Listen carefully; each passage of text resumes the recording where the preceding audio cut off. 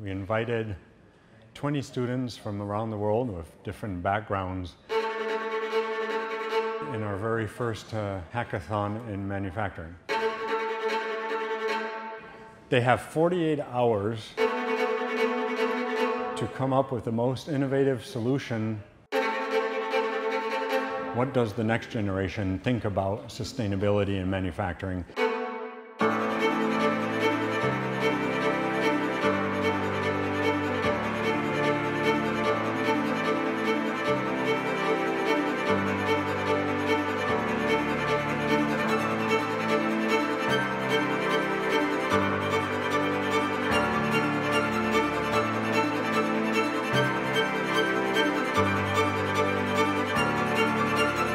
Sustainability has been center to manufacturing worldwide.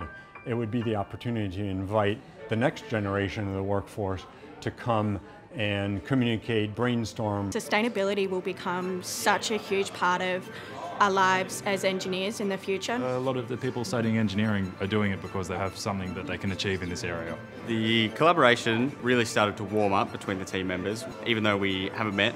We got new ideas by using Uh, 3D experience platform. So it's been an amazing 48 hours watching these students work, innovate, and collaborate so intensely. I can't wait for everybody to see their incredible ideas.